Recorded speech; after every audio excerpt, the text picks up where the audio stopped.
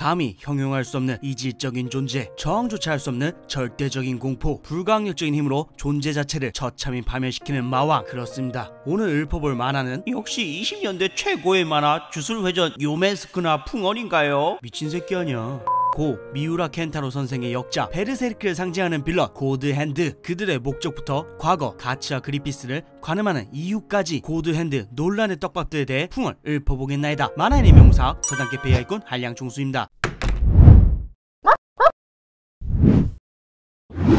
사도 호소인가 고드핸드 지망생들을 두드려 패고 다니던 검은 검사의 여정 당시 백작의 부름에 공명한 베리트에 의해 이 공간에 소환되면서 첫 등장한 욕망의 수호천사 고드핸드. 이때는 가츠가 오히려 악당보다 더 악당답게 아이를 인질로 잡고 약자를 조롱하고 숨 쉴 때마다 파크를 비롯한 캐릭터들에게 인격 모독을 내뱉던 인간 쓰레기로 비춰지던 시기였던지라 갑자기 나타나서 가츠에게 제물 제물 인과율 인과율 요킹 너 나 못 이겨 를 시전하고 빤스러워하는 고드핸드를 보고 다들 어쩌면 이 새끼들 진짜 천사일지도 란 생각도 들었겠지만 이후 과거에 그리피스가 빛의 매에서 페무토라는 씹새로 전락하는 자신의 소중한 동료들을 제물로 바쳐 강마의 의식이라는 토악질 나오는 잔혹한 마의 축제에 강행했다는 과거 썰이 공개되면서 고드핸드 분위는 본래의 쓰레기 이미지를 되찾게 되죠. 이후 행보는 그리피스, 페무토를 제외하고는 다들 사념체답게 행사 있을 때만 현세에 나타나는 것 외에는 만화에 기어 나오는 모습을 보기 힘들었지만 다섯 번째 고드핸드 페무토가 판타지아 세계를 열어버리면서 현세와 유괴가 매차쿠차 겹쳐지게 되면서 고대의 혼돈을 초래했던 과거처럼 유계와의 경계가 모호해지면서 현 시점에서는 현세에 쉽게 강림하는 것이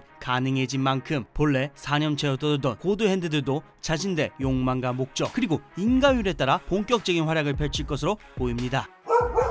고드 핸드의 근황 올림픽을 알아보았으니 이제 멤버 소개 들어가 보도록 하죠. 먼저 신의 두뇌 수호천사장 보이드 신의 두뇌라는 이명에 걸맞게 노골적으로 드러난 뇌 꿰매진 눈과 억지로 벌려놓은 두 개의 입 등 기괴한 고드 핸드 중에서도 유독 기괴한 외모를 자랑하는 고드 핸드 수호천사들의 장 보이드 가장 오래된 고드핸드답게 진중하고 sweet한 성격이며 강마의 의식을 거행할 때도 왜 자기네들이 나타난지 이유는 물론 절차와 방법까지 친절히 설명해 주는 걸로도 모자라 직접 낙인을 찍는 잡일까지 담당하고 있는 실로 후배 마왕들의 귀감이 되는 예의 바른 놈이라고 할 수 있죠. 과거 그리피스를 축복받은 갈망의 왕이라 칭했던 보이드는 그리피스가 매의 단을 바치자 낙인을 찍고 마족들을 먹이로 던져준 전적이 있으며 이후에는 해골 기사가 기습을 가하자 공간 전이를 통해 반격한 능력만이 밝혀진 상황입니다. 최고령 고드핸드이자 고드핸드들의 수장이라는 것 그리고 해골 기사와 묘한 인연이 있을 것이라는 암시 등으로 보아 실로 어마무시한 숨겨진 능력이 있을 것은 물론 고드핸드 중 모든 주요한 떡밥의 주체일 것이라는 평가를 받고 있습니다.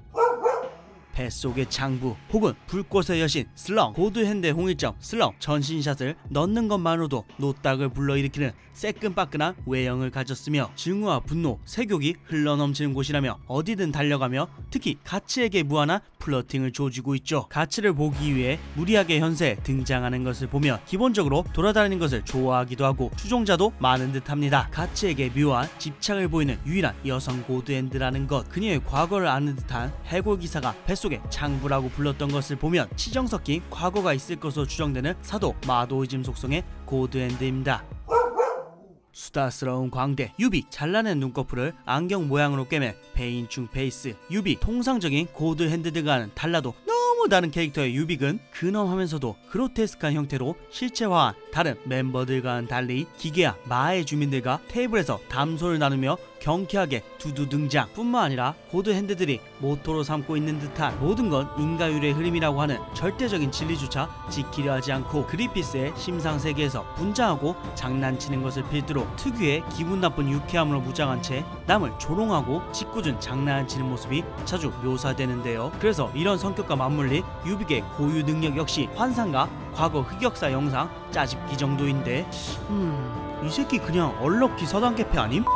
존재감 제로, 죽음의 역병, 콜라드, 아기들의 순진무구한 모습을 그린 기거의 풍경을 모티브로 한 것으로 추정되는 말도 존재감도 없는 뚱땡이 콜라드 밝혀진 고유 능력도 과거도 전혀 없으며 그저 실체와 당시 쥐떼들이 모여 얼굴 형상이 만들어졌기에 역병과 관련된 능력과 과거가 있을 것이라는 추측만이 돌고 있습니다. 현세에 강림한 대적할 자 없는 절대자 어둠의 날개 페무토. 바친다. 매의 단을 제물로 바쳐 다섯 번째 고드핸드로 현세에 강림한 페무토는 강림하자마자 짱친 여친 범하기 자기 respect하는 짱친 NTR 그냥 우울해서 범했던 공주님한테 정치질하기 등 진정한 마왕을 넘어 천하의 개새끼가 무엇인지 매순간 증명한 페무토. 비록 막둥이 고드핸드지만 페무토의 능력은 공간 전이부터 페로몬 뿌리기 등등 말도 안 되는 씹사기 스킬이나 스킬은 다 갖고 있는 이미 절대자의 위치에 있지만 이것에도 만족하지 않고 팔코니아를 세워 人間들을 모으는 숨겨진 이유를 갈 것도 없이 페무토 논란 템만으로도 끝이 없으니 관련 떡밥은 나중에 풀도록 하겠나이다. 신은 구해줄 수 없는 생과 사, 꿈과 같은 사념에 대한 인간의 끝없는 갈망에 부름받아 소환된 고드핸드는 인과율에 의해 선정된 가장 강한 욕망을 강마의 의식을 집행하여 베헤리트 소유자를 초월자 마의 일족으로 소생시켜줍니다. 자신들을 소환한 자가 가장 아끼는 존재를 마에 바치는 것을 대가로 말이죠. 만일 이에 응하지 않을 시 소용돌이치는 마의 파동, 지옥으로 빨려 들어간 소환자의 영혼은 영겁의 세월을 떠돌게 됩니다. 요약하자면 이런 강마 의식 집행이 고드핸드의 대표적인 역할이라고 할 수 있는데 이외 이들의 공통적인 특징을 간략하게 설명드리자면 고드핸드 역시 모두 한낱 인간에 불과했습니다. 그렇지만 그들 역시 그리피스처럼 자신의 가장 소중한 것들을 강마의 의식에 제물로 바치고 고드핸드로 환생하게 된 것이죠. 마성이 이끄는 운명 인과였다는 걸 수도 있겠지만 어쩌면 그저 더러운 욕망에 모든 걸 포기한 비겁자일 수도 있습니다. 또한 유계의 힘은 과거 실세계에서의 영향력과 비례한다는 설정에 따라 모두들 어떤 형태로든 민중의 크나큰 관심을 받는 아주 특별한 존재였을 겁니다. 그리고 고드핸드는 절대 신이 아닙니다. 보이드 피셜로 나온 대표 팩트 중 하나죠. 고드핸드는 신이 아닌 지고지순한 마의 대리인 정도이기에 그들 역시 모든 섭리를 설명할 수는 없으며 당연히 이에 따라 절대적인 영원 불멸의 존재는 아닐 것이기에 이들도 분명히 가츠의 엄청나게 크고 두껍고 무거우며 조잡한 철퇴 같은 드래곤 슬레이어에 방갈주 당할 수 있습니다. 마지막으로 고드 핸드는 분명한 목적을 가지고 움직이고 있습니다. 맨날 노는 것처럼 보이지만 베헤리트를 통해 인과율에 선택받은 자신의 일족들을 늘리고 다섯 번째 고드 핸드를 탄생시키며 힘을 키우고 있는 것을 보면 어떤 시기가 가져올 특별한 세계를 꿈꾸고 있는 것일 수도 있습니다.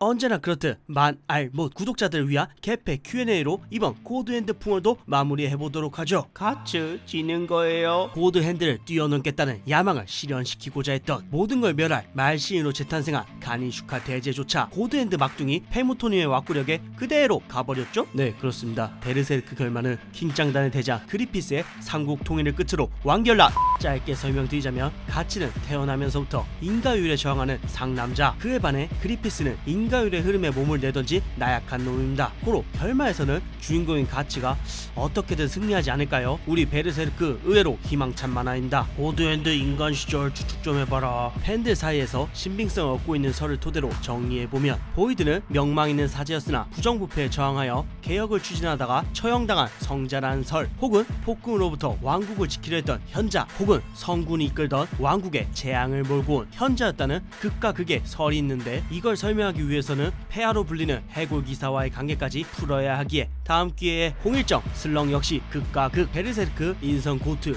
루카와 똑같은 지성을 갖춘 인망 있는 장부였으나 시대의 희생양으로 억까당했을 것이다. 혹은 민중의 추앙을 받는 범민하던 성녀였으나 권력자에 의해 어떤 강요를 당하다가 창부로 전락한 것이 아닐까 하는 추측이 있습니다. 다음 유빅. 이 새끼도 존재감이 없어서 억지로 쥐어짜 보면 환상을 보여주는 능력 선 넘는 장난기 목이 잘린 광대의 비주얼 등으로 미루어 봤을 때 선을 넘어버린 궁정 광대 혹은 아예 어린애라는 설 다음 콜라드 이 새끼는 유빅보다도 존재감이 없어서 관상과 빙의할 수밖에 없는데 전염병 창궐의 대표격인 쥐로부터 실체화된 것을 보면 민중들을 위해 의술을 펼쳤던 자애로운 의사 혹은 아예 개거지거나 의외로 고위 귀족 아니냐 하는 말도 나오고는 있습니다. 마지막 페무토는 다들 아시다시피 창의적인 씹새끼? 아무튼 그리피스의 설레로 고드핸드 단기 과정을 요약하며 인간 시절 고드핸드들은 군중들에게 영향력을 끼치는 추앙받는 존재였으나 모종의 이유로 평생의 야망이 좌절되고 파멸 무차별적인 고통과 절망의 끝에서 인생의 가장 소중한 것을 제물로 바치고 고드핸드로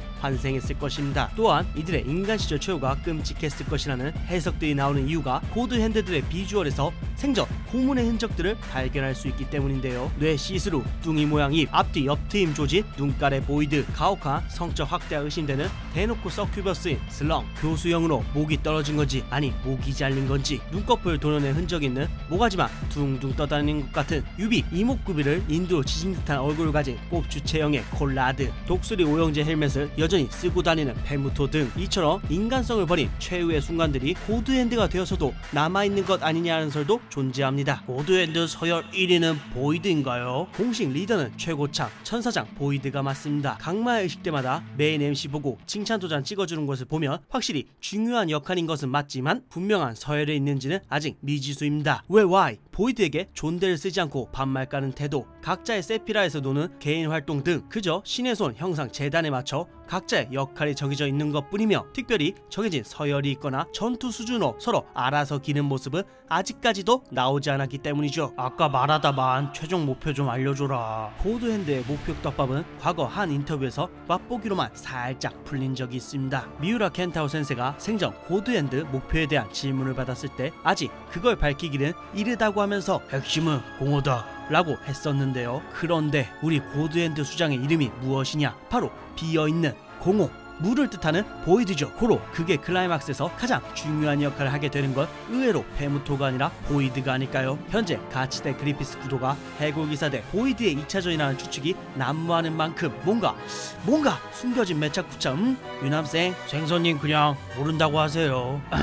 여기서 더 억지로 쥐어짜려면 고드 핸드의 대장격인 삭제된 신에 대한 것을 설명드려야 하는데 이게 삭제된 것이 너무 일찍 떡밥을 풀었다고 생각해서 삭제한 것인지 아니면 아예 해당 설정 자체가 무리수라고 생각해서 삭제한 것인지 알 수가 없기에 이것도 다음 기회에 고드 핸드 멤버 교체설 함 설명해봐라. 광전사 갑주를 통해 과거의 기억 과거의 고드 핸드 추정되는 컷 하나가 공개됐었었죠. 그 안에는 지금 보이드 외에는 전부 처음 보는 뉴페이스들 4인이 있었습니다. 이 컷 하나로 나온 설들만 해도 무궁무진한데 요약해보면 고드 핸드는 남녀 성비 4대1을 유지하는 마왕 집단이며 천년이 흐른 현 시점에서 멤버가 바뀌었다는 건 고드 핸드는 바뀔 수도 있고 죽임을 당할 수도 있으며 과거 기준으로는 보이드가 막내 다섯 번째 고드 핸드일 수도 있다. 뭐 전부 다 추측의 영역이지만 한 가지 확실한 건 고드 핸드가 계속해서 5인을 유지하려고 노력하는 걸로 봐서는 이들은 다섯 명이 모였을 때 보다 온전한 힘을 발휘할 수 있는 조건이 있거나 다섯 명일 때만 자신들의 신을 맞이하기 위한 준비가 가능한 것일 수도 있지요